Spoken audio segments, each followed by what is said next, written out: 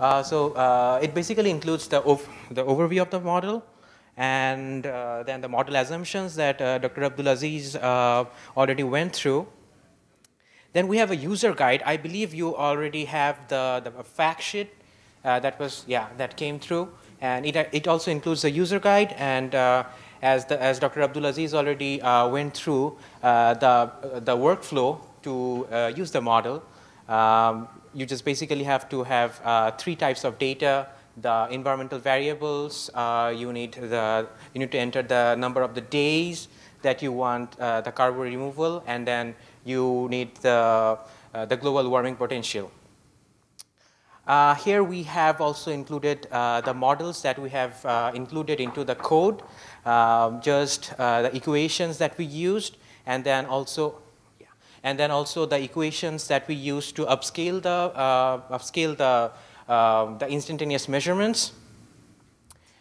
And okay, so uh, in, the, in the example sheet, uh, this is basically the interface that uh, was already shown previously. We have included um, uh, the example data set here that we have, uh, that was basically used to develop this model.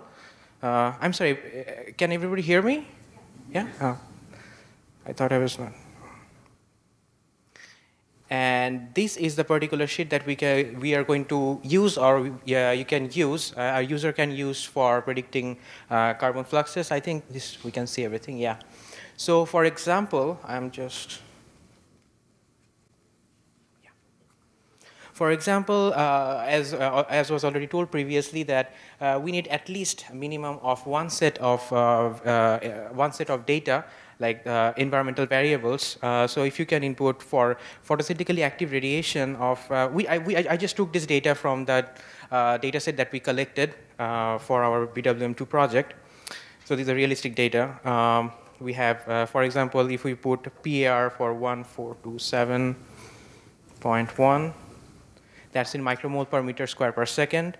For soil temperature, we can include, oh, oh, we can see that, right? Okay, so the number is uh, 1427. To zoom it? Oh, go ahead. Okay. The number is uh, 1427.1. Yeah. Can you, can you see can, that? Can you see at the back now or? Yeah. 1427. Sorry about that. Yeah. So for soil temperature, we can include uh, 22.2 sorry, 22.8. My apologies. Uh, for salinity, we could include 17.8. And then the second input that we can give is the number of the days that we need to calculate the NSER. Um, uh, for the region that the model has been uh, calibrated with, it could be between May to October, which uh, yeah, uh, so uh, which accumulates to 183 days. And for the global warming potential, you can just have a drop-down menu. As you can see there, you can select either 31, 34, or 86. And we recommend, we recommend uh, the value of 34. Uh. All right. So you have all the inputs now, and you can just run the model. Select run and you have the outputs here.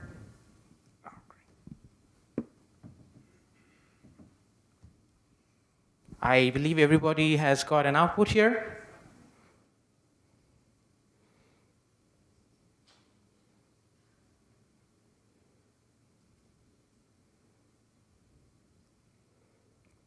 Yes, so you can see from the first column here, uh, the predicted uh, daytime net fluxes, it's minus 12.23 micromole per meter square per second. For the nighttime, we have 3.07 micromole, uh, micromole per meter square per second. And then the predicted methane emission, which is here 22.27. So that's just the in instantaneous one that was uh, basically uh, predicted using that equation. Um, what we did here is we upscaled this data for that particular number of days that we want the NSER, that is 183 days, and it was upscaled to the value of uh, For carbon dioxide, uh, it's minus 869.53 gram carbon per meter square, and that's for that year. That's an annual uh, annual estimate. And then for methane, it's uh, 143.64 uh, gram carbon per meter square. And then finally, the net carbon um, removal over that particular uh, period annually, it's going to be minus 725.89. So that's a lot of numbers. I'm just uh, going to show you that how it can be helpful. So let's uh, consider a scenario where um, you know that climate change increases temperature. And so let's consider of increasing uh, the soil temperature to 1 degree Celsius. So let's change this to 23.8. It's 1 degree. Yes. And then let's uh, consider increasing the salinity of the salt marsh to 20 ppt. I hope everybody has got that, those numbers. And then let's run the code again. Uh, let's, okay, before running the code, let's, remem let's remember that uh, the net carbon removal was minus 725.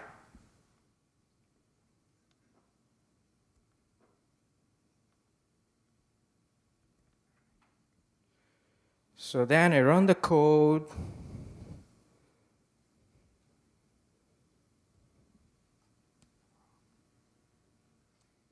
And as you can see, we got all the outputs, and basically the last output, which is the carbon removal, it's uh, minus 736. So uh, what it shows is that with the increase of uh, one degree Celsius one degree Celsius of soil temperature and the increasing of salinity of the salt marsh from 17.8 to 20, uh, it has actually increased uh, the amount of uh, carbon, uh, or basically the carbon storage to 10 gram per meter square.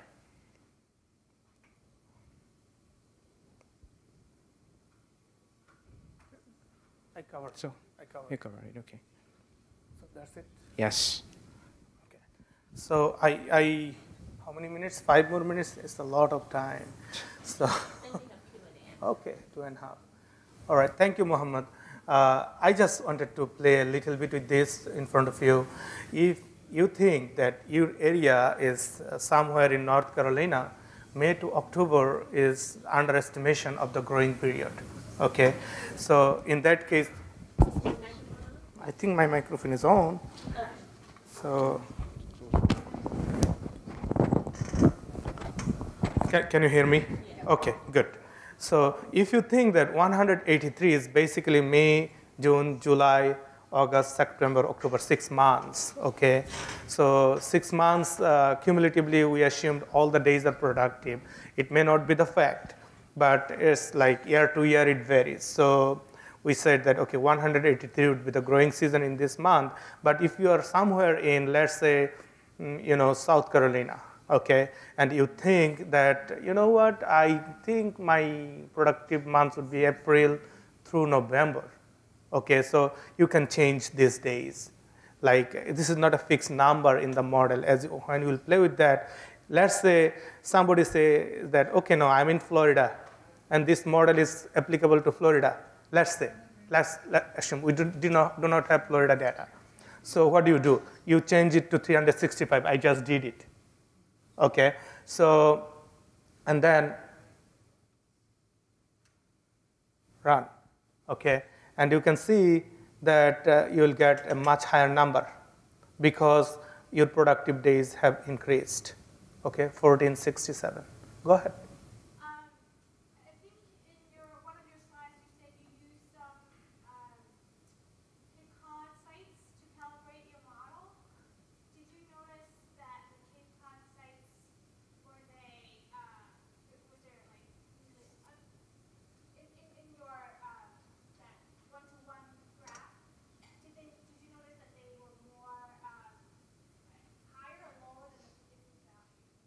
Uh, Cape Cod side was uh, in our uh, model. That's true.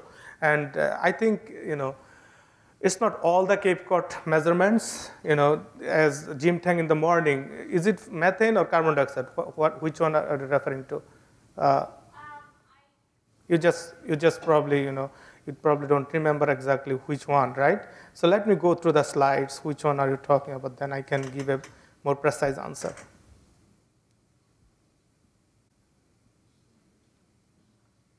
So I had many hidden slides. Yeah. So was it regarding this one or the Cape Cod model, the first model? I, I guess for me, it's, um, I just wanted to know, like, because this model can be used nationwide, but if I was to, oh, No. okay, oh, sorry. Not, not yet there, not yet there. Oh, Mid-Atlantic. Mid-Atlantic, but Yes. if I want to use it for Massachusetts-specific sites, if I, if I do that, then would I make sure to, um, note that Massachusetts sites are usually on the lower or higher end of the model predicted numbers? Uh, for methane is on the lower end. For methane, for carbon dioxide, this is kind of mixed. You know, kind of mixed. For methane, yes, because of the high salt marshes. Okay, highly saline salt marshes. But uh, I, I, let me come back to your question with a little bit more detail. That no, no model is perfect, right? So no model is perfect. So we have seen that we can explain with the carbon dioxide model 70% variation in the data. That means 30% are not being explained. Okay, and in modeling literature, 70% is considered natural science and engineering is considered pretty good. Okay, but in, if you go to social science, and I am familiar with those, or medical literature like public health, 20% is considered good. Okay, so because that's so much difficult to capture. Okay, so so in those 30%, yes, we will not do a great job in predicting those. Okay, and those are uh, happen to be most of the time extreme values. Okay, either extremely low or extremely high. But again, we are mixing data from mid-Atlantic 26 sites, different species, different environmental condition. So I cannot tell you that all the data will be predicted exactly. Okay, most of the data should be predicted. Should be. If it doesn't, let me know. Okay. So go ahead. Yes. I have a question about, um, on the, on the sheet, can you go back to the spreadsheet? Yes, of It's course. about units. Thank you. Yes. So in the uh, yellow box on the outputs, the net CO2 uptake, Yeah. emissions. So it says net CO2 uptake, but the units say grams of carbon per meter squared. And so we're talking about C or CO2? No, we need a uh, th- thank you for asking that. We spent a lot of time carbon C. We converted it by molecular weights. Converted to CO2. No, we converted it to C You converted it to C. C. Okay. to standardize it because we have to subtract methane too. So therefore, you want to you, know, you want the units to be the same, and that's carbon. So you have to divide it by the molecular weight of carbon dioxide and multiply it by the molecular weight of carbon.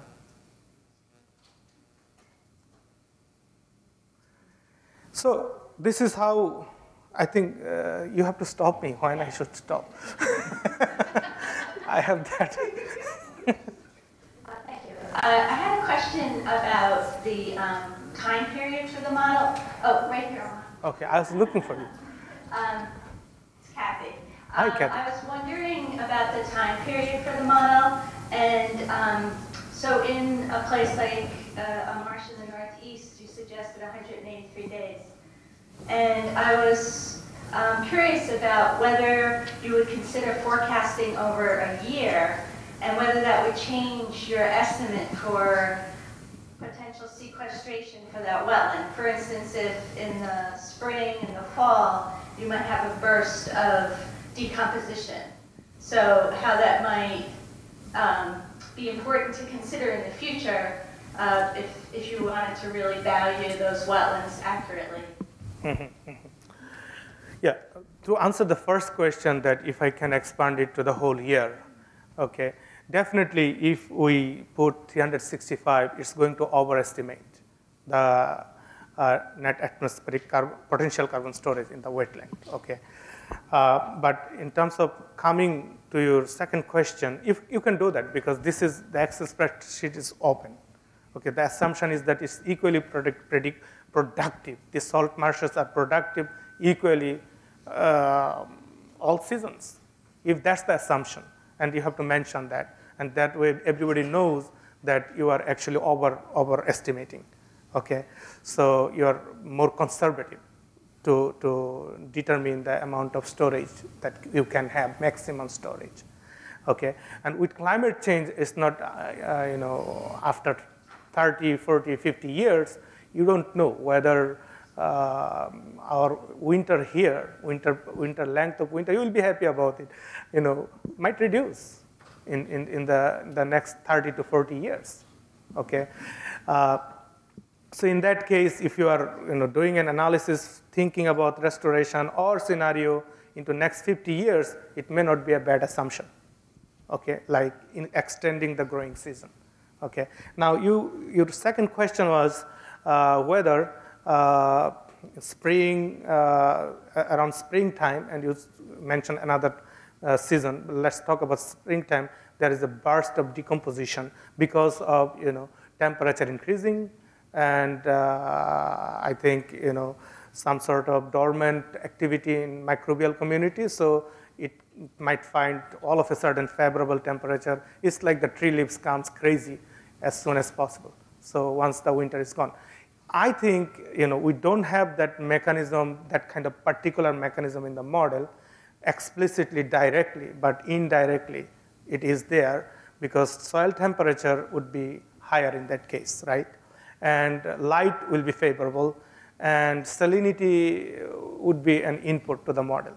Okay. Now you talk spoke about decomposition. Now net uptake, uh, carbon dioxide uptake has also decomposition component because it is it is not like we separated respiration versus uh, gross primary productivity. We took net uh, carbon dioxide uptake during the daytime, we modeled it, net carbon dioxide emission during the nighttime. There are, of course, no productivity during nighttime. That we model in terms of temperature. So temperature should reflect that. Okay, that's, that's the assumption. If it doesn't reflect that kind of high productivity or decomposition period, then uh, you know, model would probably either underpredict or overpredict. We have to see those. You know, this is something to test. Okay. Thank you. Um, one, I saw a hand back there. Hi, Linda Deegan from the Woods Hole Research Center. Um, This is a lovely model. Um, I think Thank you. we're all looking forward to, you know, being able to apply it. I do uh, want to sort of follow up on what Kathy said, and that is one of the things that we do understand is this kind of model, because it's focused on growing season phenomena, Right. sort of assumes, uh, it's not a one-to-one, but there's a balance, that the microbes are working and the plants are working doing opposite things, and the net is X. But one of the things that we've learned is um, in both salt marshes, and it certainly is true in Arctic tundra, where a lot of these things are happening, is that the microbes start up sooner in the spring, and they keep going longer in the fall than the plants. Mhm. And we don't really have a ton of information on that. But since blue carbon storage is the balance of what the plants do and what the microbes do, I think the next iteration is going to have to be some sort of model that accounts for that asymmetry. And in the TIDE project in Plum Island that you heard some work on, um, we suspect that the nitrate that we were adding was continuing to stimulate microbial decomposition long after the plants senesce, right? And your model sort of stops when the plants senesce. And I think that's the, it's the right place to start this kind of model, but I think the next generation has to look at that asymmetry of plant production and microbial decomposition. I, I, thank you for asking this question. Model stops when you limit, like 183 by that, okay? But what you're telling me, and this is a good idea, thank you for that. It's like there should not be just one day, one a fixed period for all components of the model. Uh, uh, Li- Linda, right? Am I correct? So Linda, so there are three components of the model. One is uh, carbon dioxide net uptake, and that can stop what you're saying, that can stop earlier, okay? Uh, because uh, earlier than uh, net respiration, because net respiration continues because of microbial activities, okay? So what you're suggesting that there should be, you know, three different uh, duration, at least two different duration. One for productivity, like yearly duration, like period, two, two different period, one for respiration. And I have to think about it further because carbon dioxide uptake had, has also respiration component. So I cannot just turn one off and uh, we have to think about it. It's, it's not going to be difficult, I think. Uh, but in a mechanistic model, definitely you can describe all of those. The problem with that, even you describe those, you still do not come up with a better prediction. Actually, most of the time, worse prediction because of too many parameters and uncertainty. You cannot really you know, constrain it very well. Okay. All right, one more, one last one, and then we break. So I was just curious, so we did take some data throughout all the seasons for Yeah. the Waquoit model. Right. Is that data still in there? Yes. Okay. I don't know if that helps at all, but so there is data in the model past this growing season. Yeah. So yeah. It might, it might lend itself to that a little bit. She, she, she raised a very good point, and by the way, how are you? Okay, okay. So she said that the model is fitted already with those seasonal data. And uh, we have data from May, uh, I think some April, I don't know. Jim Tang, uh, are you here? I know we took winter data. That Yes, we. I'm, I'm and, uh, but so far I remember it's mostly uh, May to October, but maybe beyond that, a little bit beyond that, because it's hard to sample during winter too. So, so, but what our logic is that we may have trained our model with data of those seasons. Okay. Now the question is, should it be 183 or more? And that's just, you know, it's not even part of the main model. It's something that we input and we kept it flexible because we, I, I, I, honestly, I don't know for sure which would be the, you know, total period. Okay. Kevin, Kevin has raised his hand. We cannot ignore him. It's a good, it's a good topic, and, and I just wonder if one way around this um, would be to have another uh, aspect of user data input, which is what's the growing season for your weapon? You know, what's when do when does productivity start and stop for the, the plants? Then you could have a model that goes year round for respiration. The temperature would naturally make that stop essentially in the winter time at the appropriate time. Um, but you wouldn't be trying to model productivity when you know that vegetation is senesced. Yeah, I think, thank you. You know, that, it, what we have, I tell you the good news. You know, I mean, when we do science, we give a mixed message, and then I, I like it because you want to be factual, and now you don't want to convince anybody. You want to give the facts, let the people decide. Okay, but what Kevin said that uh, it's basically you just extend the uh, period of uh, respiration during a year. That's it. You know, and for that you have to know inputs from other people. That what do you think? Okay, so yeah. But as you play more with this model, I told you this is a law model and interactive. There are three terms. It, it interacts with each other. One goes less, another goes high. The product is probably beyond a threshold for productivity. Okay, so you might be surprised to see your out- output. Okay, I was so. Play with this. Sorry, I have one little uh, other comment slash question, which has to do with the PAR data. And when you sample in your marsh, do you want it to be on a sunny day, or do you want to try to get a good representation of cloudy to sunny days? And also, just so people are aware, there is a calculator online called the Clear Skies Calculator, and they'll give you PAR data in the units that you want, and it's based on your um, lat- latitude and longitude. However, it's based on a sunny day, so I guess that Well, sunny day, if you use sunny day, you will end up with high productivity, okay? High net atmospheric carbon removal, okay?